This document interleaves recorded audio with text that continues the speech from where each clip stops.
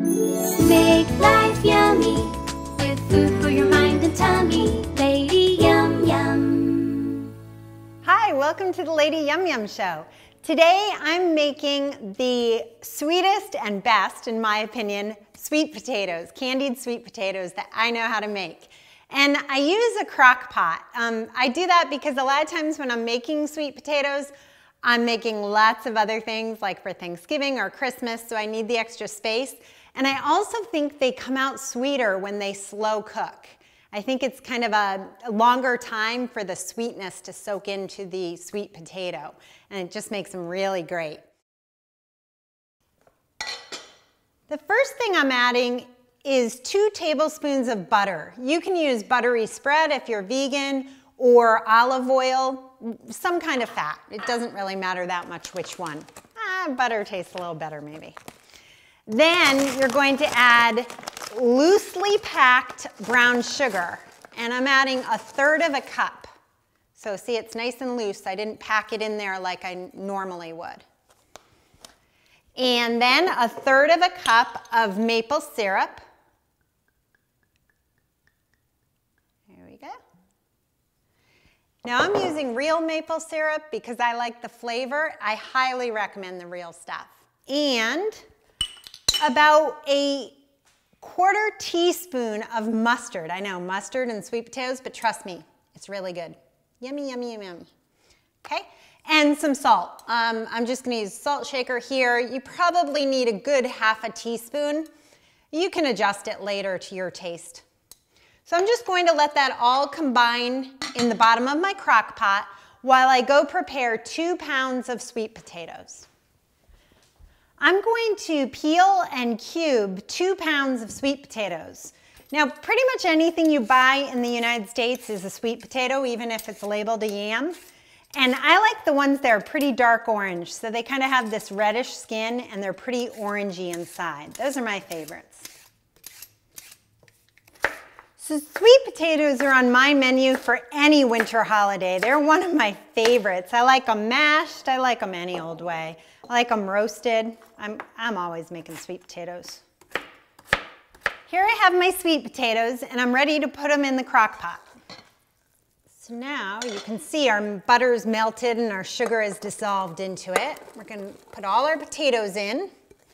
And we're just, we're not going to fill it with water. We're just going to add water so that it comes up to about an inch from the top.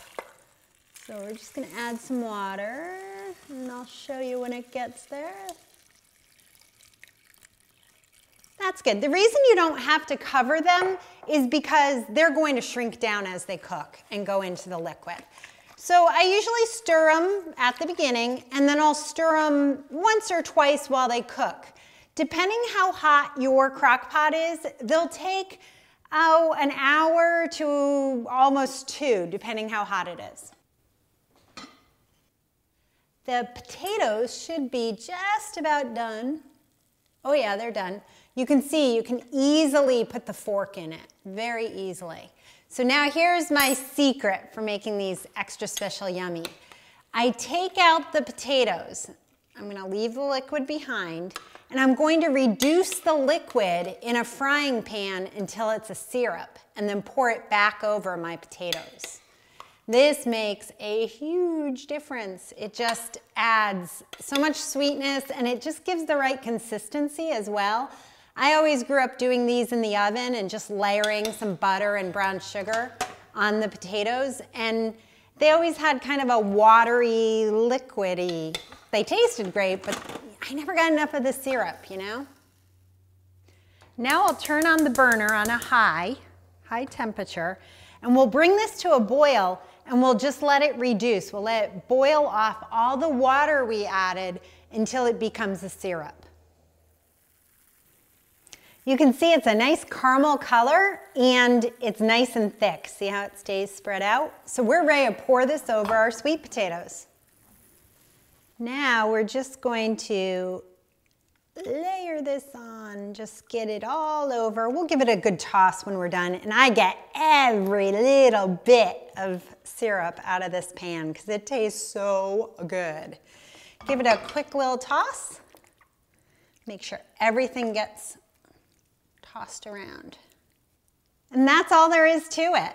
Now at this point, you could sprinkle some pecans on top or you could put um, marshmallows. That wasn't a tradition in my family, but I know a lot of people like marshmallows on their sweet potatoes and put it on under the broiler or just serve it as is. Sometimes I also smash them at this point. They taste really good that way too.